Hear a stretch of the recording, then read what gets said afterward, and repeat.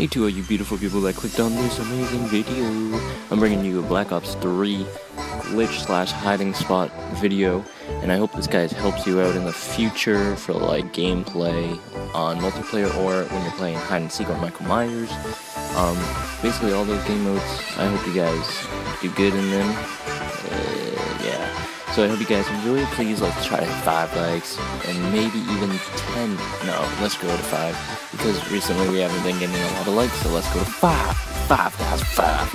And I'll catch you guys in the next one. Stay awesome. Hope you guys enjoy once again.